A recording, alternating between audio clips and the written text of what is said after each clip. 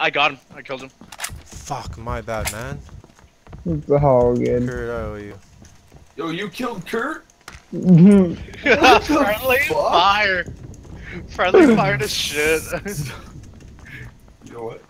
this guy better have some fucking Yeah. band-aids or something. Yo, I had come a to me. first aid. Alright, he's got a backpack. That'll do. Guys, come here. We're all gonna switch it.